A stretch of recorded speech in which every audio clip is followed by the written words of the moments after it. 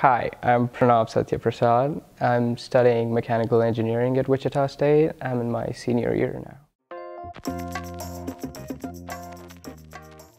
I'm a design intern at L S Industries.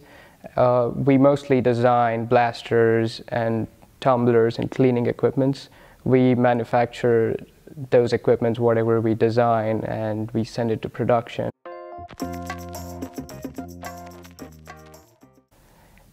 It is my first co-op at L S Industries and I started working at the end of a spring semester and now I'm working full-time during the summer.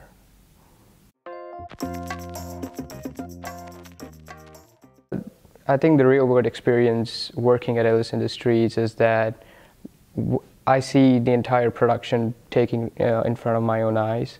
The product I design is being manufactured right in front of me and that is where I get to know what my mistakes are and then that is when the manufacturing guys comes to us and tells us that you had so and so flaws in your design and then we try to improve it and we improvise it every single time on every different projects. And that is i think very critical for an engineer because you should know what you're doing and we get to know that within the same week because whatever we design on probably the first two days of the week is being manufactured by the end of the week. So next week we have a report and we know that if our product is successful or not. So I think as an engineer that is very critical for us to know what we're doing and if what we're doing is right.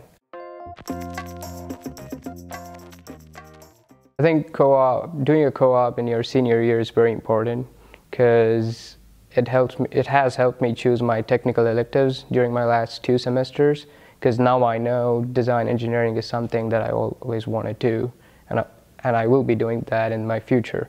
So this co-op has really helped that a lot because I always thought I should be a design engineer, but now when I'm applying it, I'm actually enjoying it and I think it's something that I would definitely do in the future.